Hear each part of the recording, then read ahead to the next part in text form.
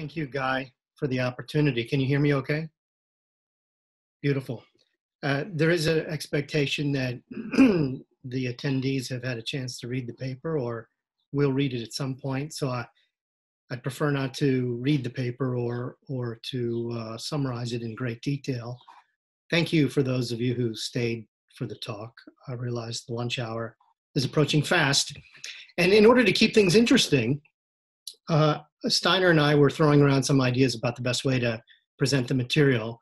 One idea was to present an interpretive drum uh, drumming session instead of speaking, and so I've got the Bill Bruford's drum pads uh, behind me, but but we might save that for another time. Anyway, web novels.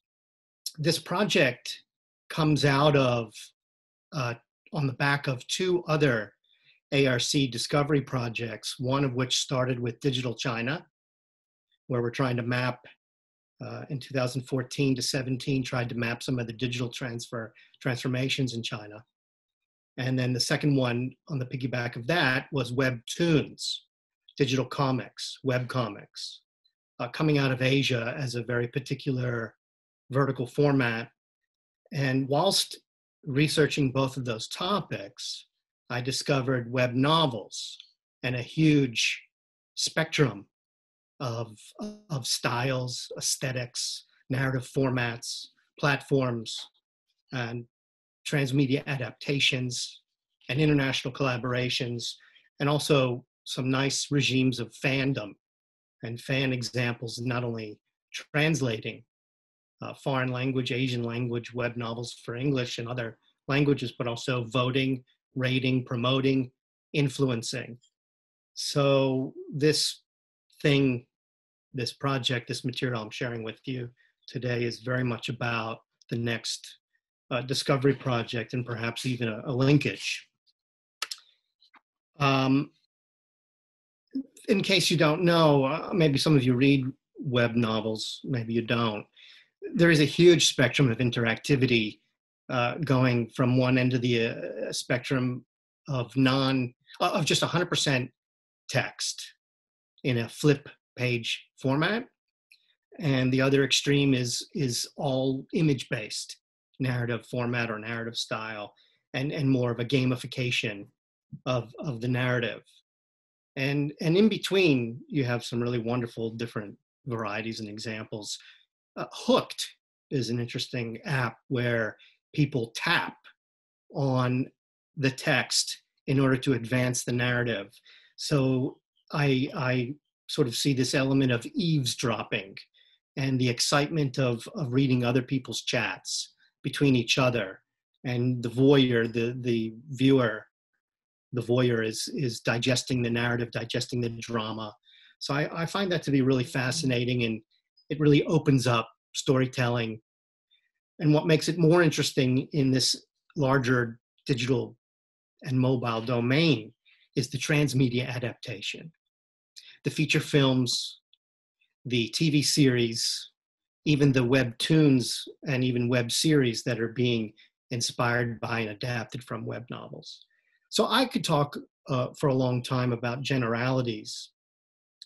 Um, My Sassy Girl from 2001, the Korean, South Korean feature film, is a really interesting example. That, that starts off as an internet novel.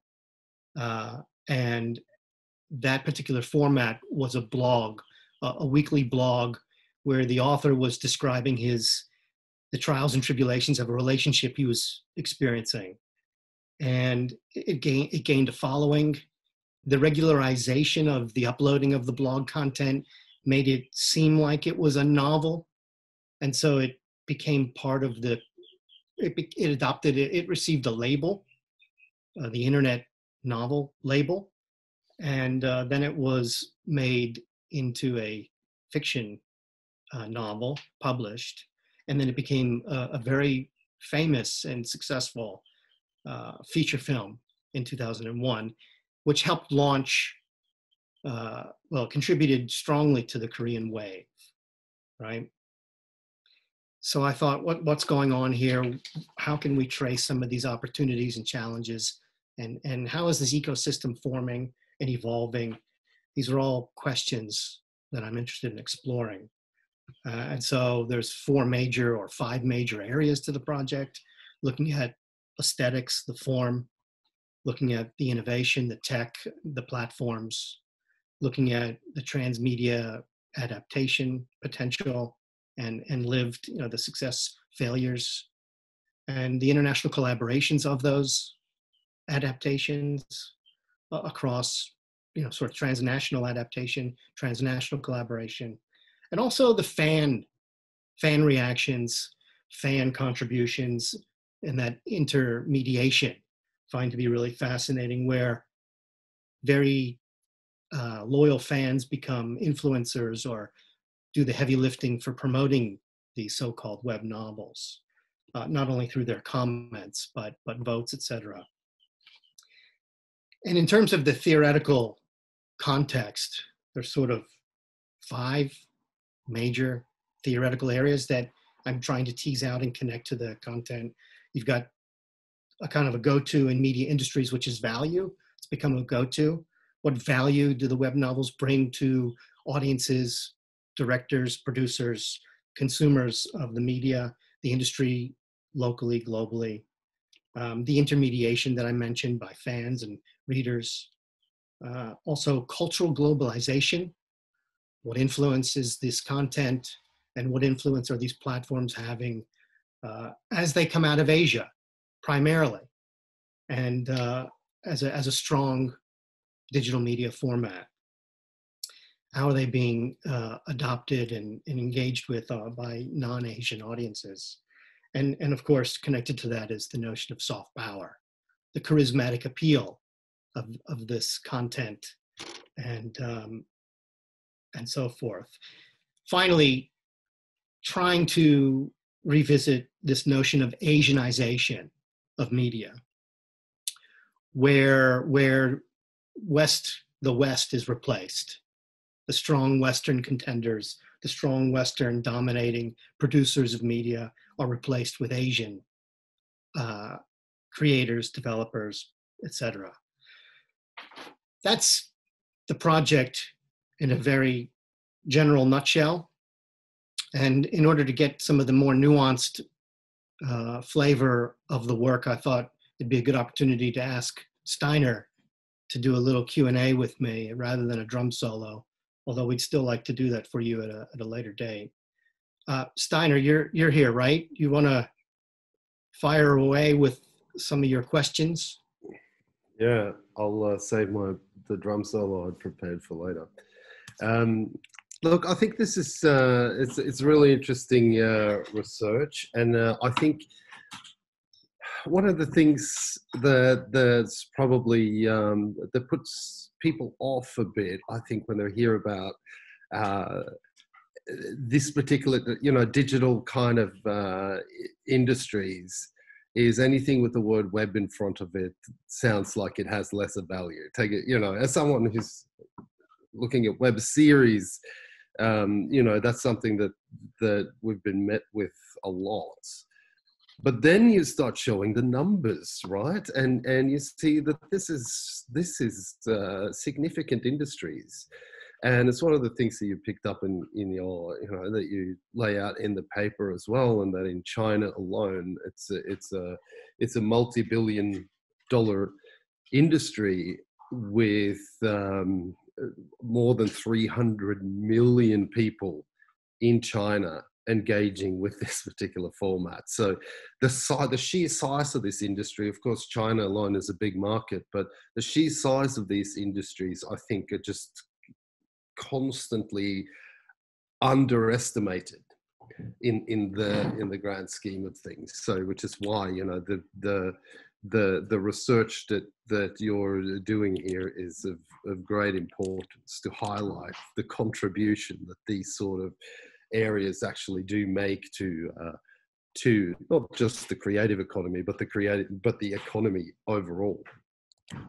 Um, So, but but I guess I'd, I'd just start with something I think is very very simple. Now, I was going to ask you why people should care about this, but I guess I'd I introduced that point myself. But what kind of defines the web novel? Is it is it the mode of delivery? Is it is it the interactivity offered by the medium?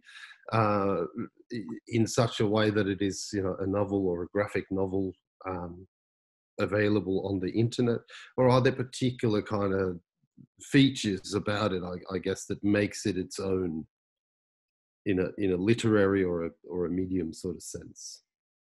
That's a great question, and I think uh, the definition of web novel probably is similar to how web series is defined. There's quite a variety of voices and definitions when it comes to the format in Australia, as you know, I shouldn't even go there, but in the web series is considered to be a, fairly relatively low budget, uh, not low as in uh, maxing out your credit card, although that's probably part of it. Low in terms of compared to big Hollywood productions, right?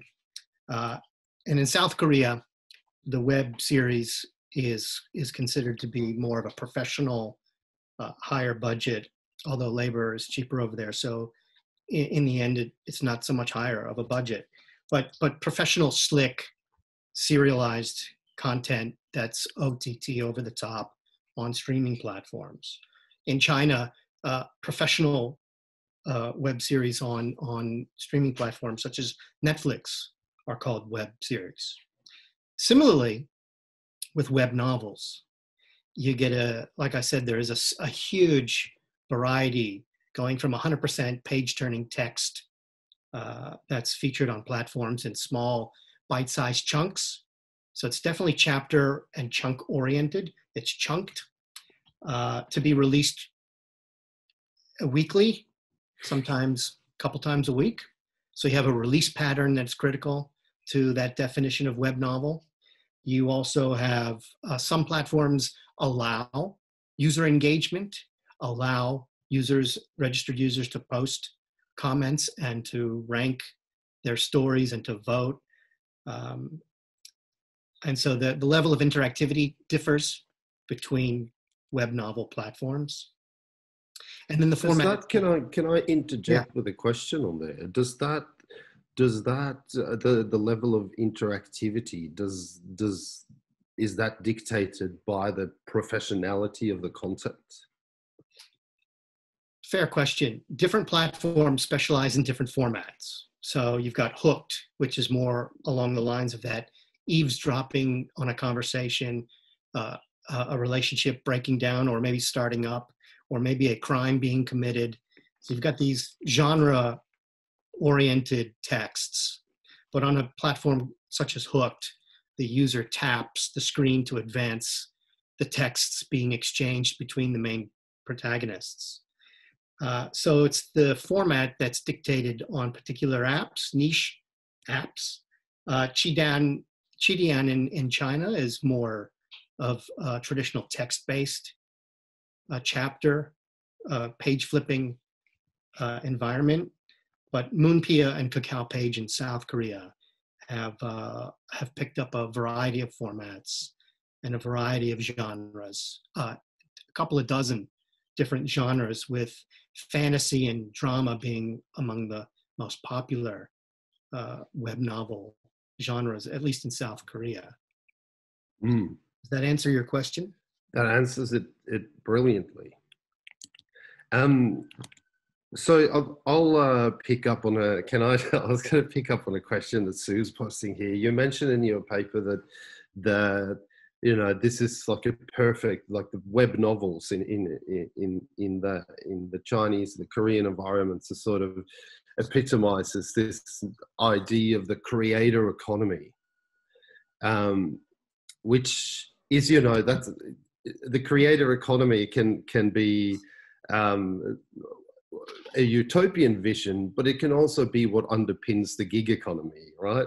so it, it, it's kind of like it can be whatever. Uh, uh, it, can, it can be a promise, or it can be a be a life sentence in a in a way. So with this proliferation and people's ability to kind of post, make stuff and share it with a with a with a mass audience, how does this sort of work in the in the web novel space? Is it you know if you get engagement and numbers, the traditional media vultures who are circling the circling the field will might come in and, and chew up some of your content and, and, and, and throw you a dollar in the process.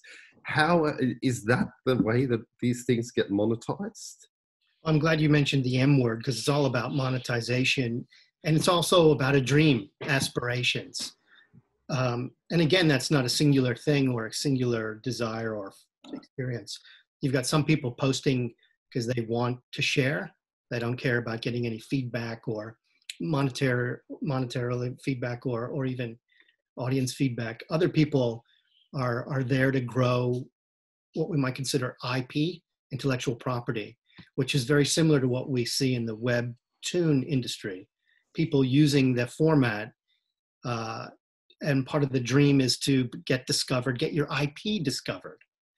Not so much uh, get discovered as an individual, although that helps to build long-term following and something that you can then you monetize yourself um, on on Kickstarter or Patreon, where people are are like other fields are are donating money because they love you as a creator, content creator.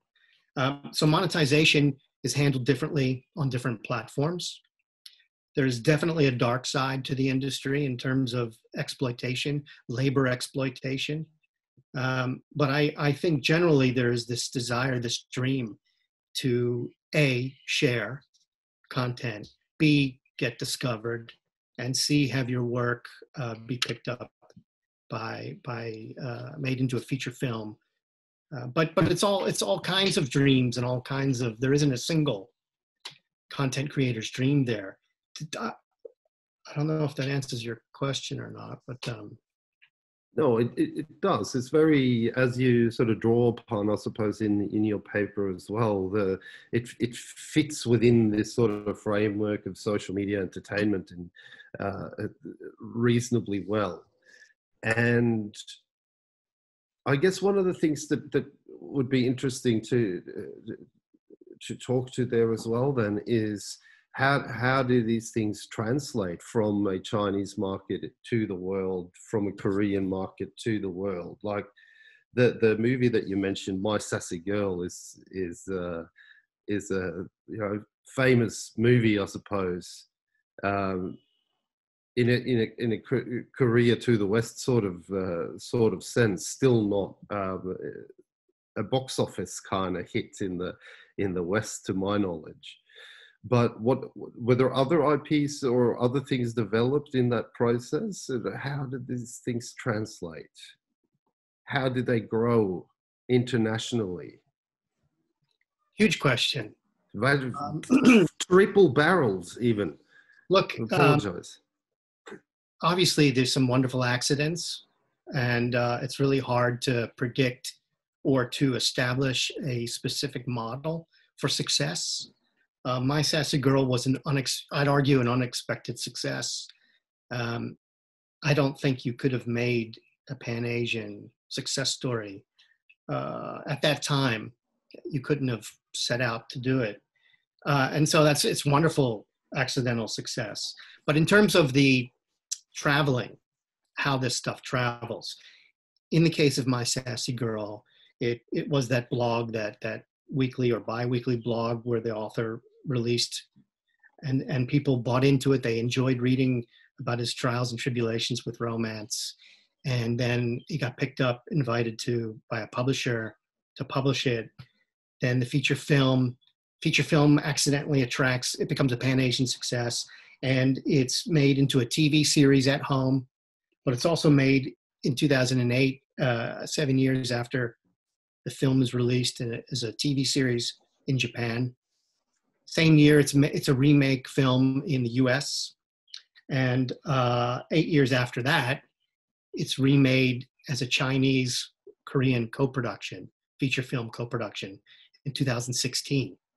So along the way, the original source material is traveling, obviously, but it's connecting with different audiences with the same essential story, the same essential genre conventions, the same tension between the characters, the same elements of surprise, which apparently translates very well in Asia, but but the US remake from 08 didn't really connect with its Western audiences.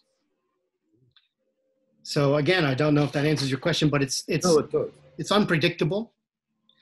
Um, and there are I like the, the the imagery you you used a little while ago about the industry vultures circling around looking for hot property to exploit in transmedia adaptation. And I I think there's a lot of people out, I I I agree with that that image.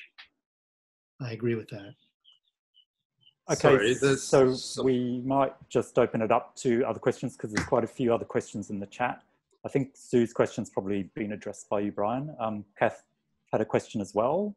Um, do you want to speak to that, Kath, or can I just read it out for you? Uh, Brian can see it there, I guess, himself. I can try to see it. So Kat's asking, how did it come to be called a novel and not story? Is there a time component, like the difference between short story and novel and fiction? There's a moment where it does pick up a brand. It becomes a web novel, and one of the the massive Chinese platform that Steinar mentioned that in my paper. Um, you've got that's owned by Tencent now. Some of you may know Tencent's the giant media and all things conglomerate in China, and uh, they they were able to get in early and get the web novel webnovels.com URL. So it's definitely something that has been branded, and there's a particular moment when that that starts to be recognized and identified. Um, I think you can call it many things, uh, but in terms of the digital ecosystem, the digital economy, we're now starting to see categories on platforms such as Kakao Page in South Korea that's got web series column or web series corner. It's got web novel corner. It's got webtoon corner. So these are very strong categories of digital media content that, that are sticking for the moment. Um, yeah, and Lucas had a question as well. Did you want to speak to that, Lucas? Yeah, Sorry, I guess. Um, yeah. yeah, my question comes from ignorance, so forgive me because I'm not a um, someone who's engaged with web novels knowingly. Although maybe you'll tell me that I have without even knowing that what they're called. Um, I'm just wondering, like, to what extent, like, uh, uh, my understanding of a traditional novel might be that you could read it in paperback, you could read it in hardback, you could read it on your Kindle, but what we refer to as the novel is kind of like uh, exists separate from that particular delivery system and is able to be migrated across them without, um, you know, loss of uh, resolution or integrity of the the thing that we re- kind of think of as the work. And I'm just wondering whether that kind of concept of the difference between the content and the delivery system is that broken down in the web novel world Well, what I can say is that each platform dictates certain guidelines for the particular content they want to feature. So if it's a tap novel, if it's a tap oriented web novel, then there are certain character sizes you need to, to achieve and present. There are certain lengths and certain colors. There, there each platform would dictate a particular guide for uploaders.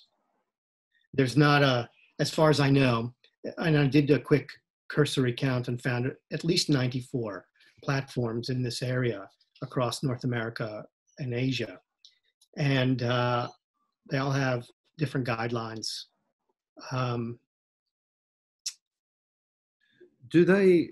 Do they most? Oh, sorry, I'm just jumping in. Do they have mostly North American content, or do they also have, say, Chinese and Korean uh, uh, uh, web novels that's been translated? what they have are, are their, their core language. So if their core language is English, then anybody providing content in English, whether no matter where they're from, uh, qualifies to be on that hosted on that site. But but I just wanted to finish by saying I didn't find any of those 94 platforms, Lucas, um, that that were like wild that that let you just put up any format that you wanted. They were they like to keep somewhat uh, format guides and format restrictions. Um, and you just content creators have to find a platform that suits the format that they want to use. So if you want a tap novel and write a tap novel and produce a tap novel, you go to you go to uh, Hooked. If you want more of a traditional, uh, predominantly text-based experience or or or text, you you put that on on web novels, the Chinese uh, web novels platform. Brian, can I just ask, is there, you know, when you go to um, Kindle, it'll often now give you a time-based experience if you're looking at a novel. It's going to take you five hours or 10 hours or... So uh, is this distinction about it being a novel as opposed to like a short experience of some other kind? Is that time, is that an expected length, you know, so that there's, it's more significant than just say, you know, a short um, 20 sentence story? Well, let me say thanks for that question. Uh, I like Neal Stephenson. I'm a fan of his, and I recently read something of his on Kindle, and it was like it took seven minutes to finish, but I didn't realize that at the time. So um, maybe I should have. To answer your question, uh, again, the S word, spectrum. There, there are so many different kinds of formats and, and thus experiences for the reader. Some are very short bursts, short form, um, micro stories, you might, you might call them. Others are serialized, chapter oriented um, uh, stories that have, that have seasons. You've got season one or, or book or volume one that, that continue you, you have such a variety of, of formats and styles. That's the beauty, part, part of the beauty of, of the ecosystem, enabling amateur and semi-intermediate and professional content creators to upload a style, a format that they that they're interested in. Um, and again, you have to find a platform that, that fits the right what, what you're into. Uh, and I think it, it doesn't take very long for the reader to understand what they're getting into. I don't think there'll be a surprise. Uh, oh, I didn't know this was a seven minute uh, book. Uh, because all, usually the comments from readers and viewers also reveal uh, some of the uh, styles and formats. So you can read up on a web novel before you, just like any, any book, before you engage it. Would any be, you know, like a five hour length or are we just talking, do you know what I mean? You've most, mostly mentioned. How slow of a reader are you? I mean, when you say five hours, I mean, we're talking about, um, sure, sure, you've got some, some uh, seven volume, 10 volume web novels, text based, that are more flip chapter or scroll style that that'll keep you occupied uh, for more than five hours. I mean, maybe five months, especially through a, a release strategy and getting notifications that the latest chapter has been uploaded.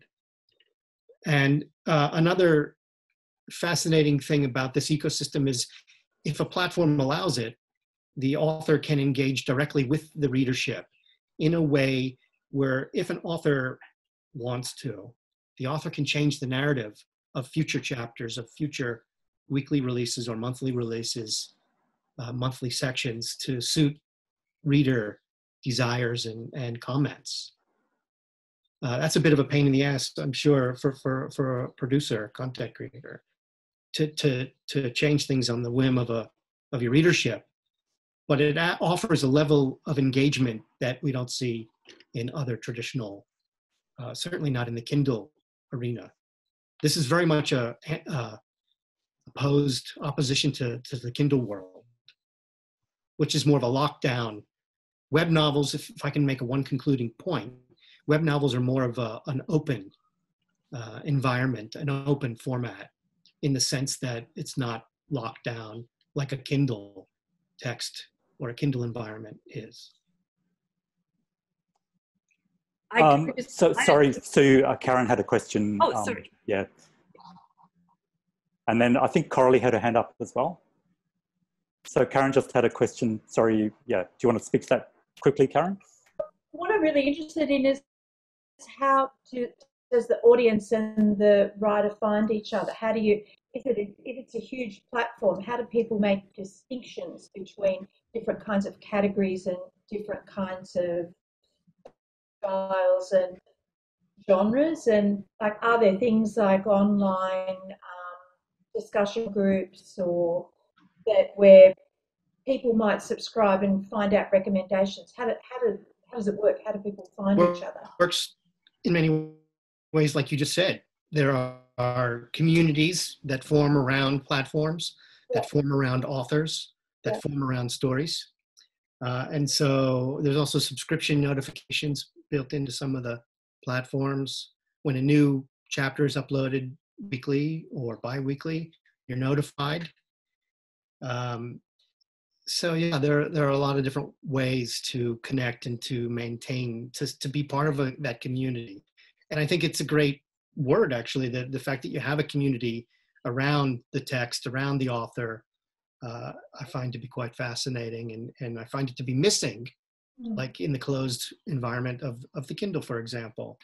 Uh, although if you're a Neil Gaiman fan and you're reading Neil Gaiman on Kindle, you can certainly find Neil Gaiman uh, other other uh, like-minded readers elsewhere, like on Facebook or whatever. Um, yeah, that's a great question, and uh, community is is a big part of some of the platform environments. Mutual? Do people end up writing responses to things that they've read that then become part of it? Yeah. Some of the platforms that are more um, experimental, and for the authors that that are deeply interested in connecting and maintaining connections with their fans, it, it's up to the author. Yeah. up to the content creator. There's a lot of abuse sometimes, a lot of trolling that occurs in, in this open environment. So some of the authors choose not to, you know, some some authors would would never allow readers to post comments, Hmm. uh, whereas others who have a more positive experience love it. Hmm. And um, Writing in response, to people then kind of go, oh, I'm going to write something in the style of in response to these characters or this? we see that in the webtoon environment but and i and i think it exists in the web novel environment i can't speak from a specific example um, it's a lot of work to pivot as you might appreciate and and kath would know for sure it's it's really tough to pivot on audience whim Mm. uh, but it can certainly the format uh, definitely um, has space for that for those pivots. Uh, So I think Coralie, you had your hand up a while back. So thanks for your patience. Um, no worries. Uh, yeah, uh, thank you, Brian. This is fascinating stuff. Um, it seems to me that you're you're um, surfing the crest of a cultural phenomenon, uh, which is leaving um, my generation behind. Um, I, I see it as a really millennial, um, you know, phenomenon. Uh, but I'm interested in the precedent that has, you know, that has is driving this. I'm, I'm sort of interested in, uh, you know, the notion of manga and cosplay and K-pop and how they're sort of becoming rising phenomenons in the millennial um, zeitgeist, I suppose. Um, and so how the, the and and the fan-driven stuff that sort of has its um, has its roots in 1980s choose your own adventure novels and things like that. So there's more agency of the consumer in this product, um, which I find fascinating, and the whole internet has enabled this. But my, my question is uh, around around the uh, your concept of um, the um, what did you call it? The Asianization? Is that what you called it? Um, and the commercial opportunities that this perhaps uh, presents in sort of mimicking this style or making this a, um, a, a, transnational style. Would it work you know, um, is it is it a because of this president Is it a particular style? Is it a particular aesthetic that will suffer in translation? It's a bit like um, the American adaptations of Nordic noir. They just go, you know. Um, so, is it necessarily an opportunity for uh, commercial production in, say, Australia? Would it fall flat? Do you think? Well, that's a good question. The part of the Asianization story and theory is that there is the replacement of this dominant in industry force, replacing Western dominant media players with with new Asian players, uh, but also um, there is there is the at the same time there is a kind of erasure of Asian styles, Asian culture in some points of this. In order to be global, uh, it has to appeal to a variety of cultures simultaneously. Not an easy feat to to pull off. Uh, and so that fits in with some of your your your thoughts on the limited opportunities for that to occur outside of Asia. Asianization does uh, show itself most strongly in Asia, where where more non-Western, non-Hollywood choices are available, more Asian media choices, more Asian content choices are available to uh, across Asia for Asian uh, consumers. So there's that part of of the theory that and and phenomenon that's that we're seeing. But do, do, don't you think it's a it's a it's a um, two way street really? I mean, uh, some of the uh, Asian things that we have access to in the mainstream, like uh, you know the Chinese dating shows and all that, there's such a Western uh, influence on the Chinese culture there. Um, and and when you think about K-pop, there's the boy bands sort of in, infiltrating all of that. So it's like a regurgitation of uh, Western stuff with the Asian sort of flavour to it. So I'm wondering whether that's a, an, homogenization, a global globalization. Maybe we're not really putting things in sort of boxes. No, it's very interesting, right? So, and and thank you for bringing that wider sort of cultural phenomenon into the picture, K-pop and uh, and the Chinese dating shows. Of course, there is no U.S. or Western dating show that has that many contestants, other in a studio setting. Yes. So, so the scale is quite different for uh, you are the one. but but the point is that there's more non-Western choice of contents, and some of it embraces Asian sensibility. Right. Uh, you know, we have to look at it case by case. Some of it embraces Asian tradition, mm-hmm. views toward marriage, views toward family, views toward death, mm-hmm. views toward ghosts, uh, and some of it erases all of that. The mm-hmm. point is, is that webnovels.com comes out of China. It's massive platform. Uh, yep. Line Webtoon, go, going back to digital comics, for example, comes out of South Korea. It's the biggest web digital comics, web comics platform of its kind around the world. So you you you have these new players mm. from an industry perspective, right? Part of the Asianization phenomenon, right? gotcha. So, but thank you for the comments. Awesome. Oh, it's fascinating stuff. Sue, Sue, did you have a comment that? Um... Oh, look, we, we, I can see we're just about out of time, but um, and I think Guy was agreeing with me, and I think Kath was as well. That when you were talking about that serial release of the narrative, chapter by chapter, I immediately went, "Oh, Dickens!"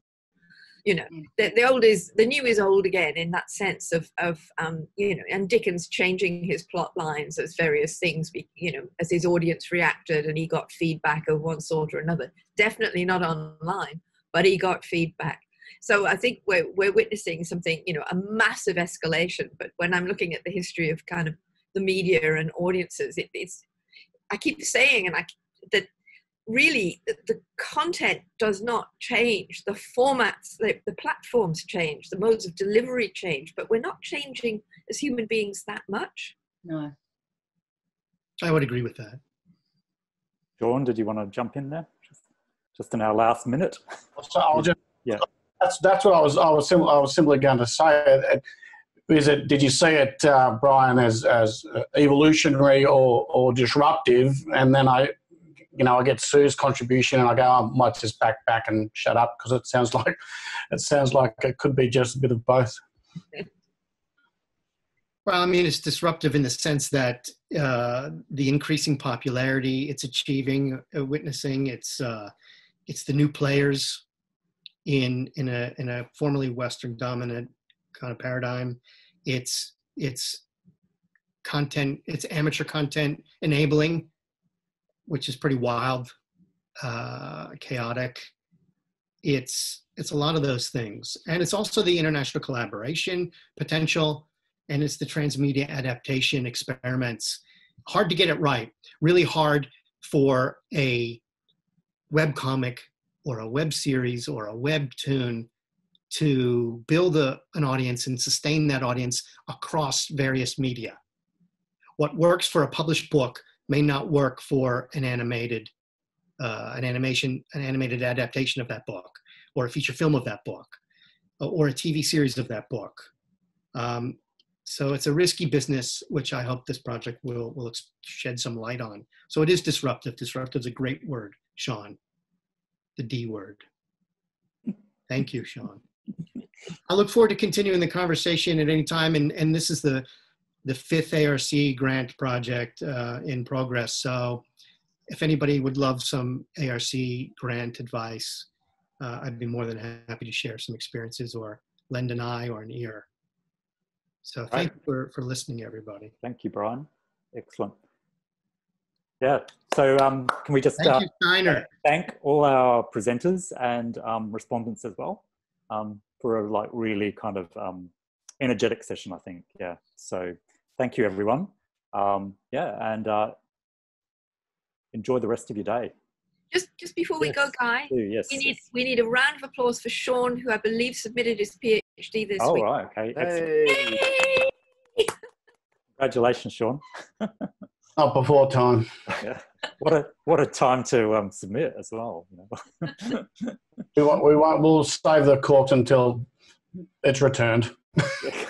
yeah. Well, well yeah. Thanks, guys. Cheers. Thanks. Okay. Thanks, everyone. Bye, everybody. Bye bye. See ya.